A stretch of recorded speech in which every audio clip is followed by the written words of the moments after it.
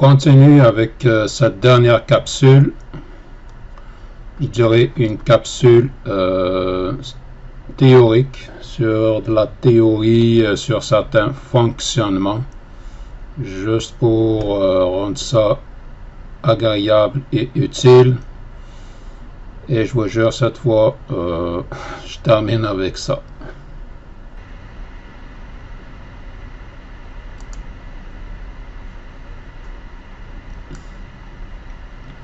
Celui-là, justement, il montre la, globalité là, euh, de tout le système là, euh, sur quoi j'arrêtais pas là de me répéter puis euh, de dire souvent là la même chose. Donc, là j'ai peut-être besoin d'un crayon.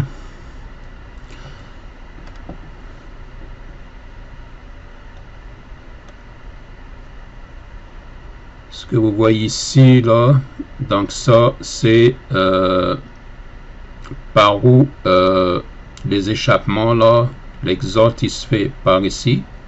Une fois que les gaz ils sont brûlés donc tout passe par ici. Et c'est là que il y a ce qu'on appelle la vanne EGR ça c'est justement cette méchante là là depuis que les écologistes là ils ont commencé à agir sur, euh, y compris à forcer l'industrie euh, à regarder du côté, euh, à faire tout là pour sauver l'environnement. Depuis ce temps-là, donc le GR, il fait comme s'ouvrir pour prendre certains gaz qui sont déjà brûlés, puis il va les retourner ici là à l'intérieur du système pour brûler une seconde fois. Et euh, en faisant ça, c'est que généralement beaucoup de problèmes résident dans le GR là. Il va voir ici beaucoup de crasse, beaucoup de crasse là, puis il va voir comme juste un petit passage là, ce qui fait que ce qui passe là comme gaz, comme soit en sortie, soit à revenir, il passe pas suffisamment. Alors que les nouveaux moteurs, ils sont designés justement à ce qu'ils vont fonctionner à récupérer certains gaz qui, ont déjà brûlé pour avoir euh, toute la puissance là euh, nécessaire. Mais sauf que cette façon de brûler deux fois, ça génère beaucoup de calamine. Et le, traitement, justement, à l'hydrogène, ce que j'ai fait, il va venir, il va nettoyer, mettant tout ce système d'admission. Et ici, c'est schématique, mais il ne faut pas oublier, s'il y a euh, des, des soupapes, il y en a deux, admission échappement de ce côté, admission de ce côté-là. Donc il faut compter 4 parce que des moteurs à 4 pistons. Il va voir les, les il va voir les, injecteurs parce qu'aujourd'hui, les, les, moteurs euh, récents, ils ne fonctionnent pas avec un carburateur mais avec de l'injection électronique. Donc il y a des injecteurs. Donc tout ça là, ils vont, ils vont tout euh, euh, euh, comment dire là, défectueux, soit à moitié, soit presque totalement, là, à cause de la calamine. La calamine, c'est toute la crasse là qui se ramasse dessus.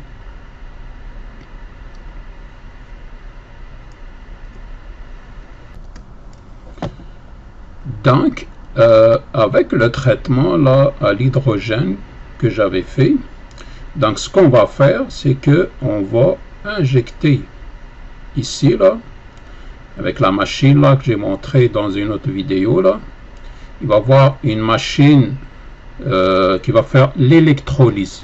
Quand on dit l'électrolyse, c'est euh, euh, casser une molécule d'hydrogène, H2O, on va la casser en deux. Comment? Par par de l'électrolyse. On va mettre euh, du courant continu Puis on va mettre ici quelque part, là c'est schématique là, de l'eau déminéralisée. C'est important que ce soit de l'eau déminéralisée pour enlever le, toutes les sels et tout ça. Ce qui va faire au passage du courant, on a le H+,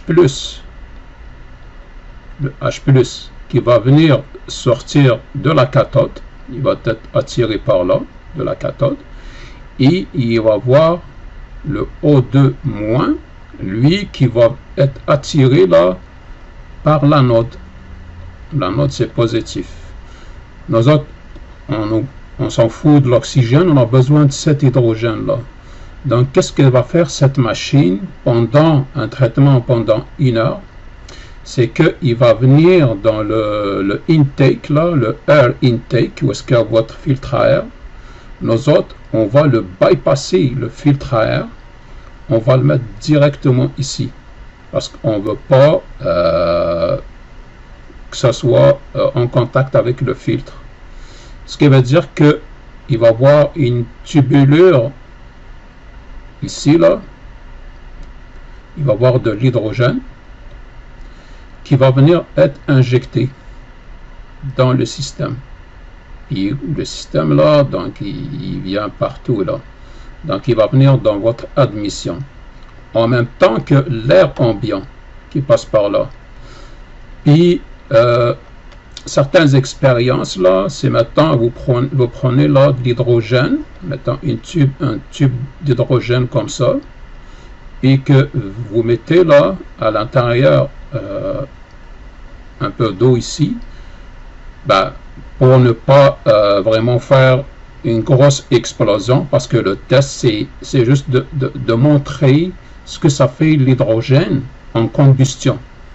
Quand l'oxygène, il, va, euh, il va se mettre en combustion, ou l'essence, ils n'agissent pas de la même façon. L'essence, il va brûler, et comme il va brûler, tout ce qui brûle, ça va laisser du CO2 du, du CO2, en tout cas, c'est tout plein de, de matières là, euh, carboniques qui, à la longueur, ils vont s'accumuler sur tout le système là, qui gère tout l'exhaust, l'échappement de ces matières-là. Ça, c'est le résultat de la combustion de l'oxygène. Par contre, je reviens à l'expérience. C'est maintenant, euh, on, passe ici dans la tubulure de l'hydrogène puis on va mettre ici un lighter, un briquet si vous voulez. Donc il va avoir une flamme. Donc c'est sûr qu'il va avoir ici des bulles d'oxygène. Elle ne va pas brûler, mais il va comme exploser. Ce sont ces éclatements. Quand ça va venir ici dans le moteur, ça va venir décoller là toute la crasse. Donc l'avantage de ce système là à l'hydrogène euh, les additifs, là, il y a aussi d'autres façons. Parce que c'est pas seulement... Ça, c'est une technologie là, euh, qui vient de l'Europe. C'est pas une technologie canadienne. Mais euh, il y a aussi d'autres techniques là. vous pourriez directement là, acheter une bonbonne. Ça contient d'autres matières là, chimiques qu'on va vaporiser dedans. Ça va... ça, c'est quand même un peu tweaké comme traitement mais le plus simple, c'est celui-là. Donc ça, c'est en ce qui concerne le traitement à l'hydrogène.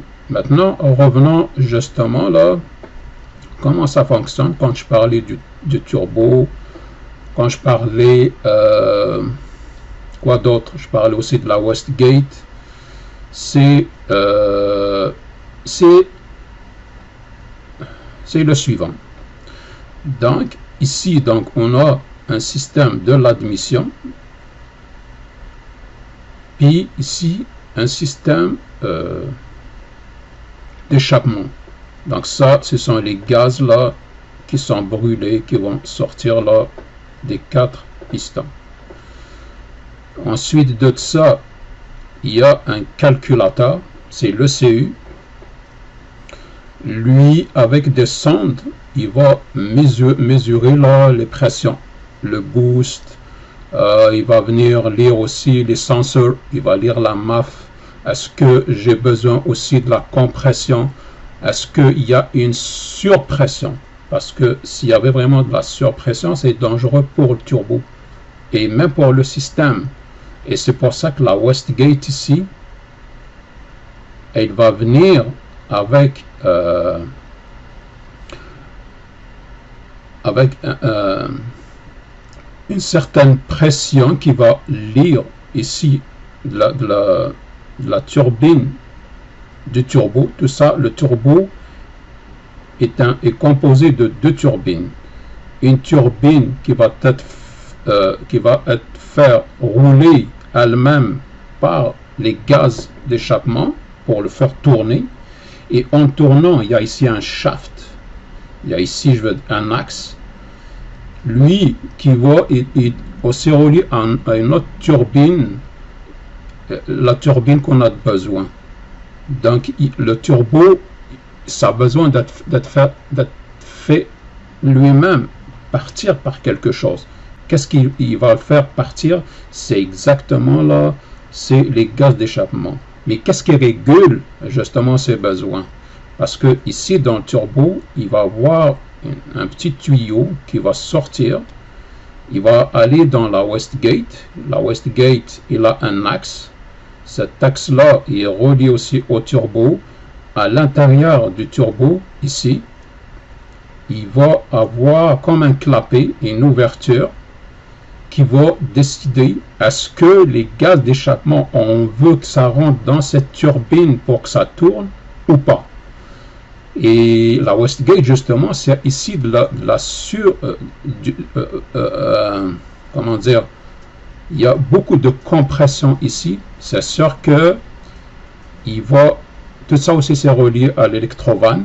Il y a aussi un ECU qui commande une électrovanne. Mais cette pression-là, s'il y a beaucoup de pression ici, elle va pousser l'axe pour fermer le clapet pour que le turbo ne tourne pas. Et quand le turbo ne tourne pas, donc il va pas y avoir un boost là de suralimentation qui va venir vers le moteur. Ça aussi, euh, c'est géré par le GR. Il va prendre la basse pression, mais au besoin, quand la cylindrée, le CU calcule que la MAF, euh, il y a une pression manquante, le CU, il va euh, commander à ce que le turbo va générer de la pression supplémentaire pour la puissance là et pour la compression utile parce qu'il y a beaucoup de torque donc il y a besoin que le turbo rajoute euh, de la compression. Donc lui il va faire ouvrir cette EGR là une basse pression qui va venir ici se rajouter à l'intake la MAF puis il va aussi commander la, la Westgate pour ouvrir le clapet ici, pour faire tourner euh, cette turbine-là. Quand cette turbine il va tourner, c'est ça que le mouvement va être transmis à cette turbine de ce côté-là, qui elle, elle va aspirer beaucoup, beaucoup d'air. Il va aussi récupérer les gaz qui sont brûlés, qui sont chauds. Ils vont venir repasser ici par l'intercooler parce que les gaz, quand ils sont froids, c'est là qu'il y a encore plus de puissance. Et l'intercooler, lui, il va refroidir les gaz qui sont, qui sont chauds. vont, il va les réinjecter une seconde fois pour brûler ici, là, et générer euh, la puissance là, euh, nécessaire. Et comme vous voyez là, et c'est pour ça qu'il y a de l'économie, parce que pour la même quantité d'essence qui a été brûlée, il va, il va avoir du gaz, il va générer donc de, des échappements. Ces échappements-là, c'est une contribution là, euh, comment dire, en compression qui vont sortir. Ils vont revenir une seconde fois brûlés pour la même quantité là du gaz initial. C'est pour ça que le turbo, ça fait de l'économie.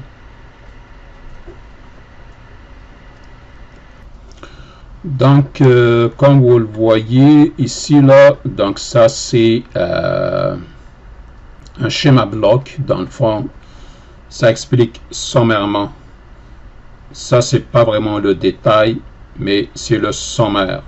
C'est le sommaire là euh, de tout ce que je répétais là depuis les débuts des vidéos quand je parlais du turbo, du turbo boost, de la MAF, la map, euh, les pressions, les compressions, le pourquoi, où est-ce qu'il vend. Donc ça, c'est le, schéma euh, justement. Ah oui, j'ai oublié un détail. Puis là, euh, où est-ce qu'il y a mon crayon Donc là, si je fais une vue éclatée du turbo, je le ramène ici, c'est celle-là. Donc voilà, donc ici là, au niveau euh, quand le GR, il veut que, pas le, GR, mais, euh, mais plus la Westgate, euh, il va commander l'ouverture d'un clapet. Je vais vous le montrer après comment il est fait. Ce clapet là, vous allez le voir, puis vous allez comprendre mieux quand je parle de ça, de Westgate, puis ouverture du clapet, fermeture et tout ça. Donc, euh, pour euh, quand on a un besoin euh, d'une compression, d'un turbo compression, ce côté-là, c'est le turbo charger. Donc, il va venir tourner là, ça c'est les gaz d'échappement. Donc, ils vont venir tourner une, turbine avec des ailettes. Quand celle-là, il va, tourner avec les gaz ça va faire comme un tourbillon. Déjà, comment ça tourne, ça crée comme un, tourbillon. Ça passe échappement et ça sort comme ça, ça s'en va ici vers l'échappement. Donc, il y a un cycle rotationnel. Puis les ailettes, là, ils vont être poussés par justement les échappements à faire euh, une rotation. De plus en plus qu'on accélère, de plus en plus qu'il va y avoir plus d'échappement, de plus en plus que euh, les ailettes ils vont tourner de plus en plus qu'il va y avoir de la compression de l'autre côté. De plus en plus, là, vous allez entendre votre turbo siffler. Et moi, j'adore quand il fait ça. Donc, ce qui fait que les gaz, ils vont passer comme ça. Ils vont sortir euh, par là. Et si je reviens ici, donc ils vont continuer ici, là, jusqu'au silencieux, puis euh, sortir par l'échappement. Et en faisant ça, ils vont actionner, ils vont transmettre la même rotation vers euh, l'autre turbine, une ailette, qui, elle, il va aspirer de l'air de ce côté-là. Pas seulement de l'air, mais on est ici. Donc, on est ici. Donc, il va avoir aussi une partie euh, de gaz. Et il va donc cette ailette-là, il va les prendre, donc ça va rentrer par là et ça va sortir de ce côté-là. Et ça va être injecté dans la chambre de, combustion. Je pense maintenant, vous le voyez très bien, que quand euh, je, je le montrer là euh, en deux dimensions, là vous le voyez en trois dimensions.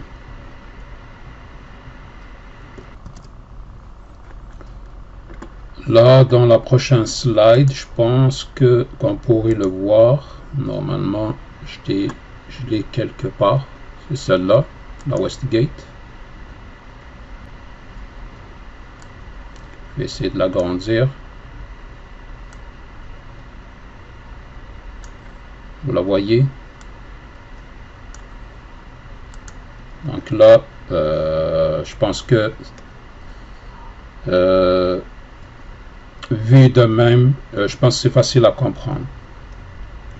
Donc, comme, vous voyez là, donc ça, c'est les sorties des cylindres. Donc, il va voir, donc ça c'est le collecteur là, pour l'échappement. Donc, c'est l'exhaust. Donc, ça, c'est les sorties d'échappement. Ça, ça s'en va justement à l'extérieur. Donc, il y a une partie ici. Donc, votre turbo, c'est celui-là. Donc c'est tout ça là. La Westgate, c'est celle-là. Cette partie-là. Donc on voit qu'il y a une tube qui sort, donc qui ramène la pression euh, de l'exhaust. Donc, donc la pression de l'échappement. Tout est calculé dépendamment de la pression qui est à l'intérieur ici du turbo. Vous avez la même pression de l'exhaust, il sort, il vient dans la Westgate. Ici, il y a un ressort. Et il va soit pousser comme ça, soit tirer comme ça. Ce que ça va faire, c'est que quand il va tirer, donc il va fermer ici, celle-là. Le clapet que je parle, c'est bien celui-là. Donc, quand on ne veut pas justement faire fonctionner le turbo, la Westgate, parce que c'est comme un échappement pour le turbo, justement. Elle veut, mettons, euh, euh, baisser la pression puis arrêter le turbo. Quand on se ferme, donc il va va pas y avoir des gaz d'échappement qui vont rentrer ici. Et cette turbine-là, il va pas tourner parce qu'on veut pas que ça tourne. Mais quand on veut justement, parce que le moteur, puis le CU, il a fait ses calculs, il a fait toutes ses analyses, il a lu les senseurs, euh, L'électrovanne aussi, il va agir quelque part ici qu'on ne voit pas euh, dans le schéma bloc. Ce qu'il va faire euh, là, ce qu'il va faire, il va faire un autre, le geste contraire. Donc, il va pousser à ce que ce clapet-là, il va s'ouvrir. On veut justement, on veut que les gaz d'échappement rentrent ici dans le turbo pour faire tourner ça là. Donc, euh, quand je parle du clapet, puis euh, la Westgate, son rôle, c'est bien ça. Et euh, en parlant, en ayant parlé justement de l'ECU, de la MAF, j'ai aussi ici là un peu de théorie sur ça pour montrer quelques éléments là de fonctionnement puis comment ça marche et le pourquoi. La MAF, la MAF là, c'est celle-là. MAF, pourquoi on appelle MAF là? Euh, Là, j'ai pas mes repères pour écrire. MAF c'est masse, masse, air,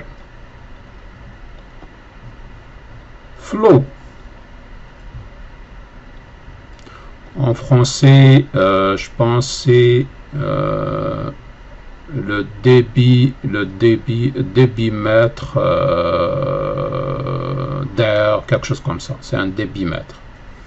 Ce que ça fait, la technique, comment il fait là, il y a ici là, il va avoir quatre fils. Ici, tout ça, tout ça au complet, d'ici jusqu'ici, c'est un sensor. Ici, il va avoir quatre fils. Je, je, dirais pas les couleurs, mais euh, ils sont répartis par des couleurs. Maintenant, je vais prendre ici un plus et un moins ici plus 12 volts, un moins ici. Lui, justement, c'est pour venir chauffer ici cette sonde. Il va la chauffer. Il va la chauffer à une température toujours constante. Puis, il va avoir un autre plus et moins. Là, c'est ce monsieur-là qui va la lire. Celui-là, c'est le CU. Voici un exemple de CU. Le CU, c'est pour Engine Control Unit. Unité de, contrôle euh, engine, euh, moteur, ce que vous voulez. Donc lui, c'est sûr que il y a des entrées pour les senseurs. Donc c'est là, il va lire, il va faire des lectures. Ensuite, il va les analyser. J'essaie de faire une route dentée, mais je suis pas bon. Donc il va les analyser et il va faire des actions. Donc il y a des actuateurs. C'est comme, dans le fond, c'est comme ici, là, c'est comme un système PID. Un système PID. Donc lui, c'est, on a une consigne à l'intérieur. À l'intérieur, lui, il y a des registres. Tout ça, là, c'est un circuit électronique, là. Vous le voyez comme ça, là, comme un boîtier aluminium, parce qu'on veut qu'il va être hermétique pour que, parce que c'est le cœur du moteur. Aujourd'hui, si vous avez un problème sur cette boîte-là, euh, que ce soit les clés, euh, toutes les permissions là pour faire partir le moteur euh, ou changer de clé, des trucs comme ça, il ne reconnaît pas. Il va vous empêcher de faire partir votre moteur. Donc lui, il va venir à l'intérieur, il va voir des banques de données, des registres où, euh, ça on va le voir dans la prochaine slide, où le constructeur il a mis les valeurs normales, les valeurs là euh, qui doivent être lues. Si maintenant on est en dessous ou en dessus de ces valeurs là, là il va dire il y a un problème. Donc, euh, ce que je disais, donc ici, donc il y a une partie des deux fils, ce soit ces deux-là, ces deux-là, mais vous avez compris. Donc, euh, deux pour l'alimentation, deux pour la lecture, ils vont être lus par celui-là. Mais qu'est-ce qu'on a fait ici? Ici, c'est la loi d'homme. Homme. Oups, c'est l'inverse. Donc c'est homme. La loi d'homme. Donc lui, qu'est-ce qu'il fait que il veut, il veut que le voltage est égal à la résistance multiplié par le courant. C'est tout le temps stable. Si la résistance monte, le courant doit baisser pour garder le même voltage. Si la résistance baisse, le courant va monter pour que ce soit toujours le même voltage. Donc, cette loi d'Ohm, ce que ça fait, c'est que en gardant ce fil chauffé, et c'est à partir de là que le CU, vraiment, il va lire le débit de euh, le débit d'air, le, le, le, mass airflow. C'est à partir justement de cette technique-là. Donc, il va voir ces deux fils d'alimentation qui vont chauffer un fil ou une sonde, vous l'avez compris, à une température constante. Donc à une température constante, lui, il va chauffer, il va chauffer. Au moment où est-ce qu'il va chauffer, la résistance, il va monter. Ce que ça va faire, c'est que le CU, il va lire moins de débit de courant. L'intensité va baisser. Donc là, il va comprendre comme quoi il y a moins d'air qui passe. Par contre, ce que ça va faire, euh, au moment où on va peser sur euh, le gaz, puis qu'on veut euh, plus de puissance, c'est sûr, il va avoir un système, le turbo que vous avez vu, il va tirer de l'air. Quand il va voir ici de l'air qui va passer, ici, ça va refroidir cette sonde-là. Et quand ça va refroidir, donc la résistance, il va baisser. Quand la résistance va baisser, il va voir ici beaucoup de courant. Donc, dépendamment ici, là, donc du courant qui va être lu par, par le CU, lui, il va venir ajuster ici, là, il va voir une commande. Donc, on a dit euh, action, réaction, lecture, action. Il va venir euh, encore une fois, je schématise. C'est pas les détails. Les détails, il va voir des calculs, des calculs, des algorithmes, des beaucoup de choses à l'intérieur. C'est de la micro il y a des micro, il y a un microcontrôleur à l'intérieur. Il y a une ROM, une ROM comme ça là, je vais l'écrire. Une ROM, c'est une mémoire morte. Donc ce qu'elle a fait, donc c'est read only memory. Ça c'est à l'usine. À l'usine pour un véhicule quelconque, pour un, modèle quelconque, généralement ça c'est Bosch.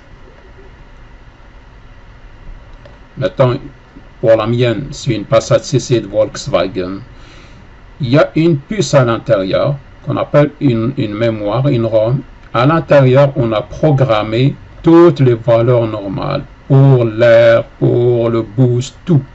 Donc lui, justement, là, en lecture et en comparaison des valeurs normales, combien d'heures j'ai besoin pour une accélération quelconque, pour euh, un torque quelconque qui a lu avec un autre sensor. Donc il faut le voir ici, c'est euh, du MIMO. Hein? Euh, multiple in, multiple output. Multiple input, multiple output. C'est du MIMO. Donc lui, il va venir ici faire le dosage. Le dosage là euh, du carburant. Dépendamment de ce qu'il a lu ici par rapport au courant, par rapport à l'air qui rentre, quand le, il va voir qu'il y a beaucoup de, courant, lui, il va, il, va, il va le lire, puis il va le calculer, il va comprendre justement par cette lecture la densité d'air, le débit, puis qu'est-ce qui est reçu euh, comme pression d'air Il va diminuer justement, il va avoir une action sur la pompe à essence ici, que elle, il a une action sur les injecteurs. Donc on voit quatre injecteurs. Vous voyez ici là euh, un G d'essence. Ça c'est euh, parce que Ici, là, c'est la technologie récente. À l'époque, c'est un carburateur, mais aujourd'hui, c'est de l'injection électronique. Donc, voici pourquoi, si, maintenant, celui-là, il y a plein ici, là, euh, de cochonneries, il y a plein de saletés, il ne fonctionne pas, ou bien parce qu'il est brisé. Donc, lui, il va toujours lire, par exemple, euh, toujours euh, la même valeur du courant, ou pas donc lui, par défaut, par erreur, parce qu'il est tombé en panne, donc vous allez observer de la surconsommation. Parce que lui, il va dire, ah, j'ai moins d'oxygène, il faut que j'augmente l'essence. Si j'ai beaucoup d'oxygène, je vais diminuer l'essence. Parce que lui, il veut toujours qu'il y ait un rapport euh, air essence toujours c'est 4,7 grammes d'air pour un gramme d'essence. C'est important. Donc si vous remarquez que euh, votre moteur il tire pas, euh, il y a de la latence, il consomme beaucoup, vous avez euh, la couleur là, l'échappement là, euh, c'est pas une couleur habituelle, noire, des trucs comme ça. Ça peut être celui-là. Je dis ça peut être celui-là parce que ce monsieur-là, lui, il est comme connecté à plusieurs senseurs. Ça peut être aussi d'autres senseurs. Voilà, euh, donc on a fini avec cette partie-là. On va passer à la suivante. Euh, donc, la slide suivante, de quoi j'ai voulu parler d'autre? Donc, euh, oui, je vais rester toujours sur le thème là euh, de l'ECU. Ce que je parlais justement. Ça, ça le complète un peu là. Ce que je disais juste sur la slide précédente. Donc, euh, votre CU, vous l'avez vu, c'est toujours cette partie-là. Puis, on a ici, on a ici, on voit, ici, là,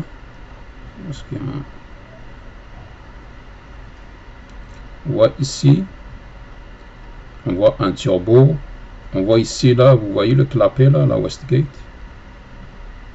Quand j'ai parlé, là, euh, de la ROM, puis des valeurs, euh, des valeurs euh, programmées sur le CU. Donc, le CU, on va le représenter par ce bloc-là. Ici, c'est la map. Ça, c'est un senseur, la map. Map. Toujours en anglais. Manifold.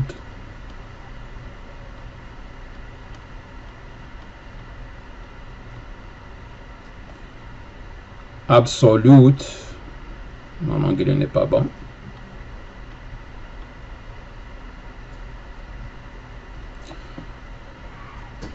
Pressure. C'est de là que ça vient. Donc, le manifold, c'est le intake là au niveau de l'admission. C'est un truc là que j'ai montré tantôt euh, comme quatre entrées là, et comme ça là. Puis des bus. Puis là, on a mis un sensor. Des fois, vous avez un sensor directement qui est allé euh, au, au turbocharger. Des fois, vous ne l'avez pas. Puis vous avez la map. La map, ici, là, il y a une ailette. Il y a une ailette qui tourne justement euh, avec le, les compressions qu'il reçoit. En tournant, donc là aussi, ça va générer une tension et des courants pour, pour celui-là. Si maintenant, lui, il a lu à un moment donné euh, la Westgate, euh, donc il a fait une lecture de la pression au niveau du turbo, il a lu à ce moment-là 1350 MB. D'après moi, c'est millibars. Donc, 6 millibars, donc ça c'est en milli. Donc, si vous, si vous le multipliez euh, par 1000, donc vous allez trouver, donc c'est 1.3, 1.350 bars. Lui, dans sa base de registre, dans sa ROM, ici, là, dans sa ROM, il a lu le sensor, lui, donc, il a fait le calcul pour euh, une telle compression, dans une telle situation, il devrait y avoir 13. Dans ce cas-là, l'électrovanne, c'est celle-là. Il va envoyer genre 40%. Ça, c'est des exemples. Donc, dépendamment de ce qu'il a lu,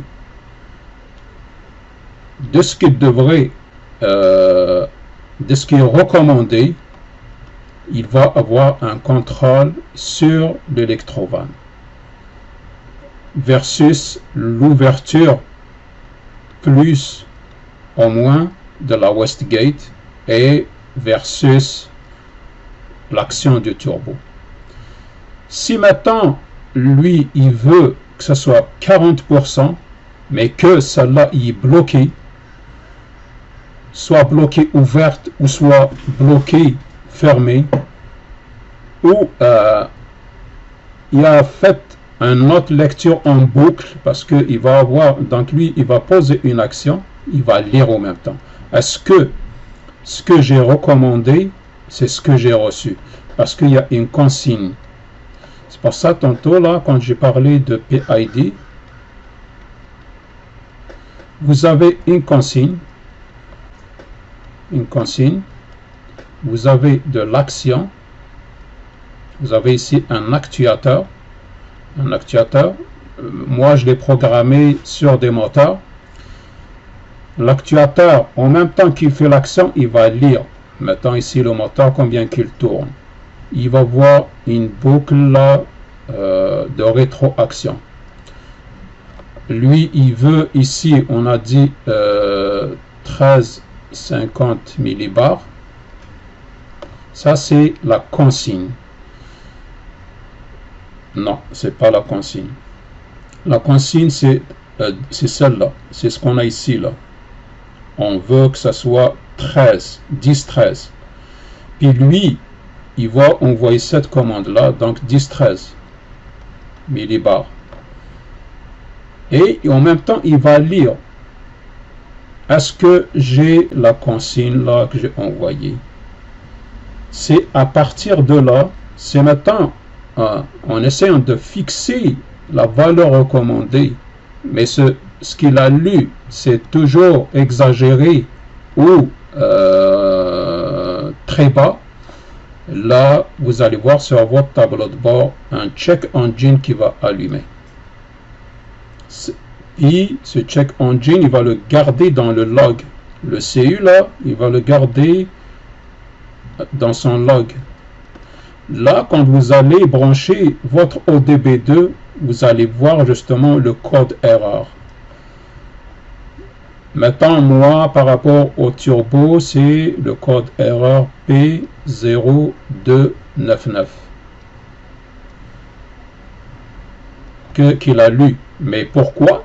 Pourquoi il a lu ça? Parce que l'ODB, il y avait euh, un CAN bass, un CAN bass, qui va communiquer justement avec la sortie ODB2. Il va voir comme ça. Moi, je la branche comme ça. Puis, euh, cette bébite, il a justement un, un Bluetooth, un lien Bluetooth. Moi, c'est à partir de ce qu'elle m'envoie par Bluetooth que je lis avec ma radio. Et c'est sûr que c'est celui-là qui communique avec le CAN bus, le protocole CAN bus. Si c'était le, on essayait de lire directement du data euh, brut du canvas, on n'aurait pas compris. Qu'est-ce que ça veut dire? Ça nous prend justement le lecteur OD, OD, B2, avec son protocole, il est capable de traduire le protocole CAN vers un protocole ODB2 qu'on peut lire maintenant sur notre téléphone avec une application Android ou un iPhone ou avec un système complexe là, ODB2.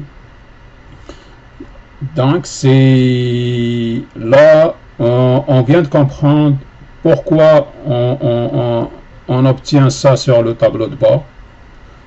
Comment on fait la lecture de ce code d'erreur, où est-ce qu'il est, où est-ce qu'on le trouve? Donc, il est logué, c'est un fichier code erreur qui est dedans.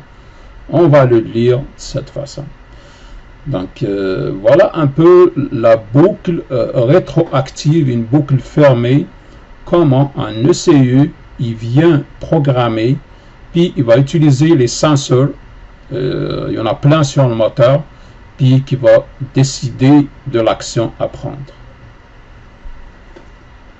Donc, euh, c'est tout ce que je voulais dire sur cette slide-là. On va passer à la prochaine. On continue avec la prochaine slide.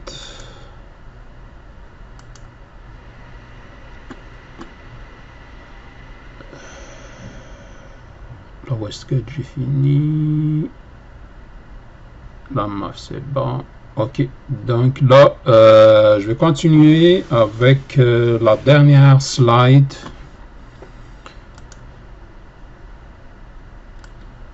Celle-là, euh, ça va parler justement du fonctionnement du moteur à quatre temps. Normalement, on l'appelle un moteur à quatre temps parce que ça, lui prend un cycle de l'admission jusqu'à l'échappement, ça lui prend quatre temps. Et c'est ça que je vais tenter d'expliquer, puis on va euh, terminer avec ça. Euh, je pense que c'est utile aussi à connaître et à comprendre. Et, je vais euh, l'expliquer euh, de cette façon-là. Je répète encore, je ne suis pas un mécanicien, mais je vais essayer de l'expliquer de la façon où ça va être facile à comprendre pour tous, tel que je l'ai compris moi-même. Donc, ce qu'on voit ici, on voit une dent. Elle a 50, 52 dents, mais ça lui manque une ici.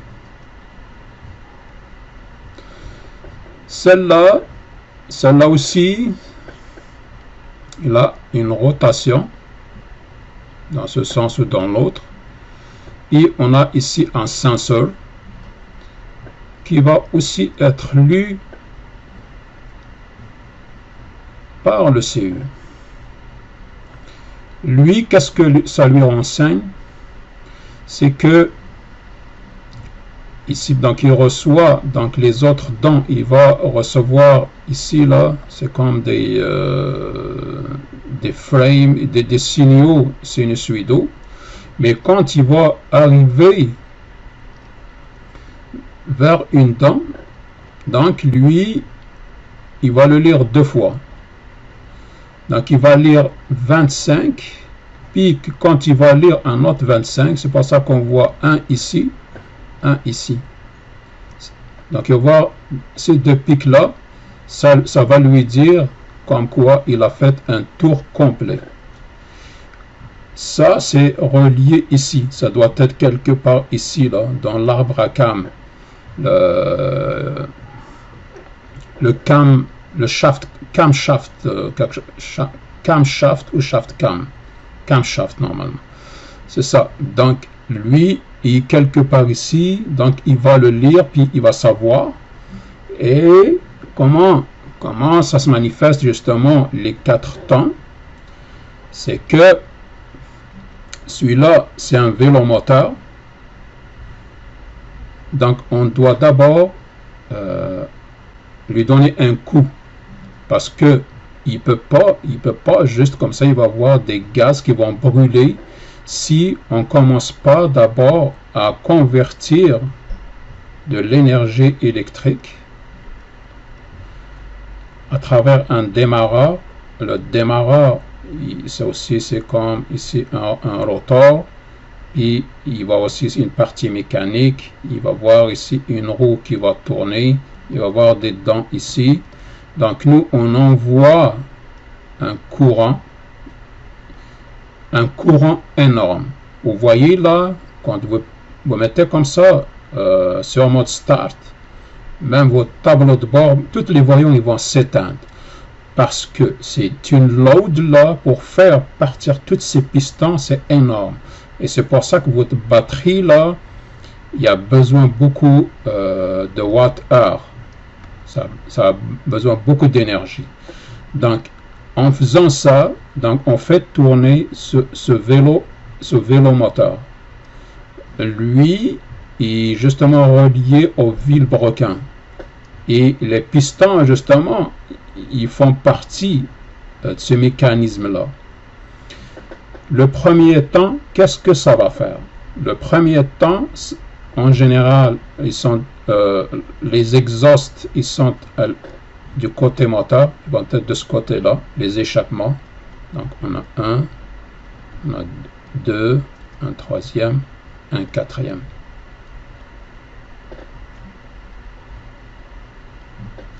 Et les admissions, ils vont être de ce côté-là. Là, je ne vais pas, je vais pas l'écrire, sinon je vais manquer d'espace pour, pour l'explication.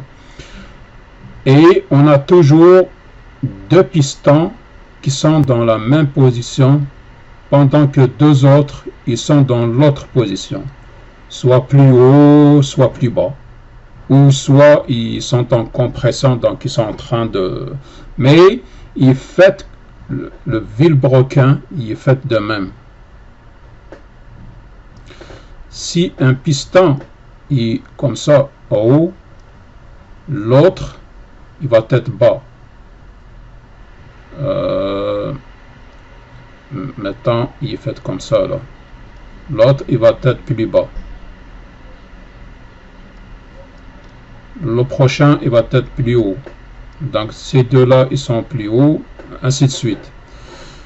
Ce qui fait que en poussant justement euh, avec le démarrage, il va voir ici de l'admission en premier.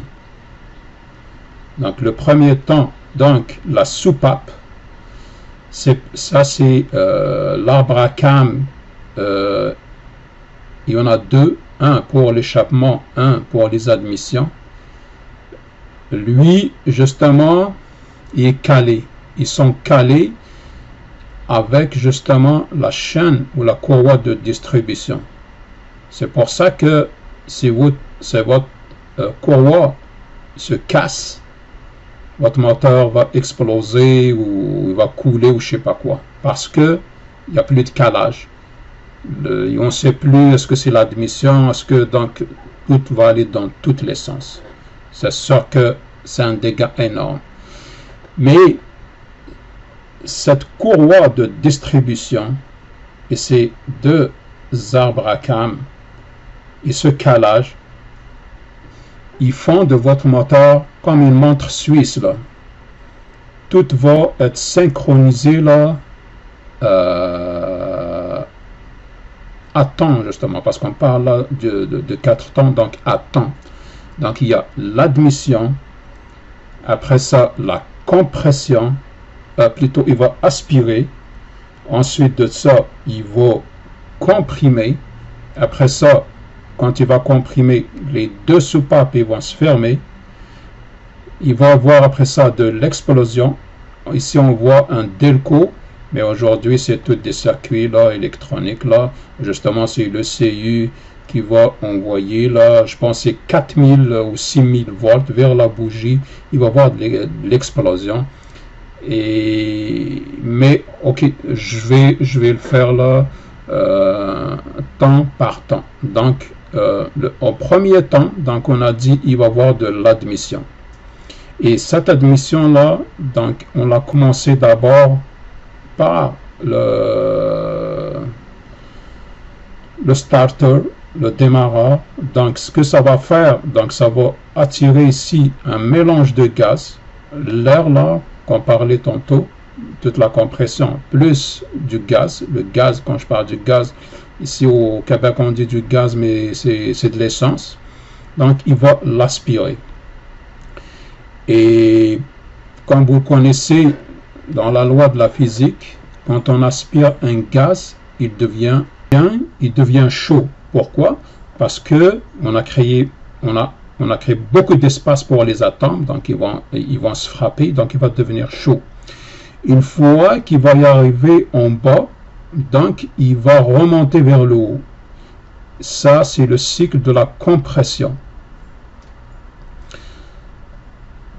Juste au moment où il va y arriver en haut, la soupape d'admission est enfermée. Là, le système électronique qui va envoyer ici là vers la bougie, il va envoyer un voltage énorme, ce qui va induire ici euh, une flamme, euh, un éclair, ça va faire brûler le gaz, le mélange de gaz, et c'est là qu'on va avoir de l'énergie utile. C'est le gaz, quand il va brûler, qui va pousser le piston vers le bas. Donc ça, c'est le, le, troisième temps. Le quatrième temps, donc, une fois qu'il est brûlé, c'est sûr que lui, il va le pousser, donc il va tourner, donc il va avoir de l'action du moteur. Et cette action-là, il y a toujours justement là la synchronisation des, euh,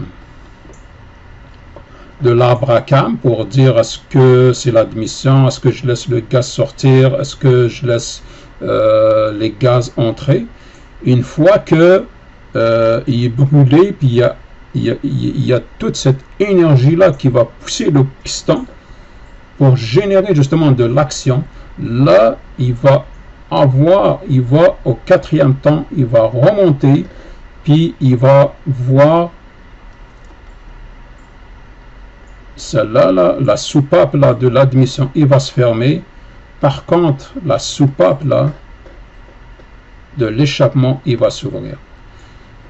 Et voilà. Donc, c'est pour ça qu'on l'appelle vraiment un moteur à quatre temps. Donc, il va avoir de l'admission. Après l'admission, il, va être aspiré. Une, fois qu'il est aspiré, il va être compressé.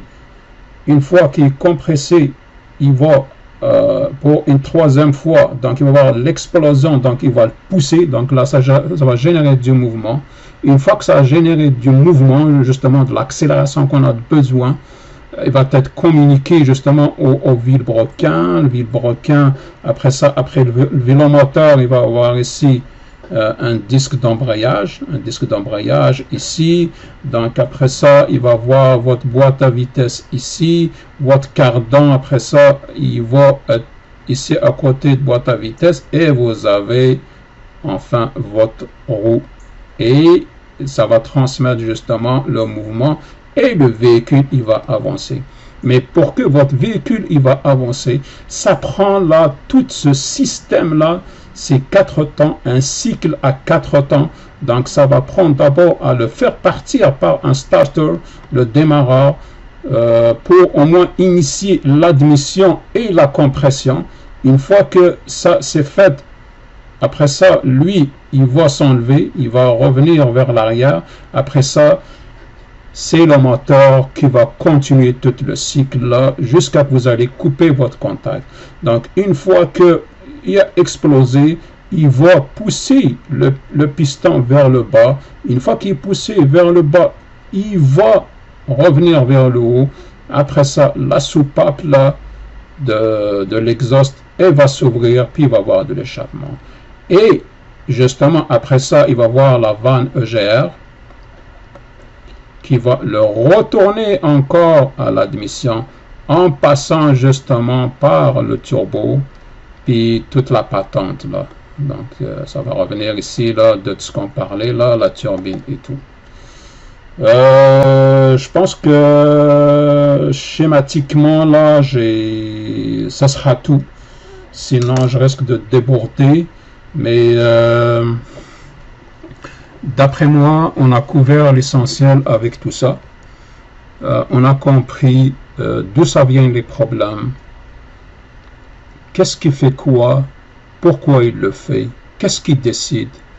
Puis à la fin, là, je vous ai montré euh, justement comment euh, euh, l'idée d'un moteur à quatre temps, comment ça fonctionne. Et je pense que l'idée elle-même est vraiment simple. Dans ce qu'il faut comprendre, c'est que il va passer par quatre cycles de temps. Il va avoir de l'admission. Après ça, il va l'aspirer, donc ça c'est le premier temps. Après ça, il va le compresser, donc ça c'est le deuxième temps. Après ça, il va avoir une explosion qui va le pousser vers le bas. Ça c'est le troisième temps. Après ça, le piston, il va remonter vers le haut. La soupape d'admission est fermée parce que sinon il va refouler les gaz vers, votre réservoir d'essence. Donc, il va, une fois que euh, on est rendu au quatrième temps, donc ça c'est l'échappement.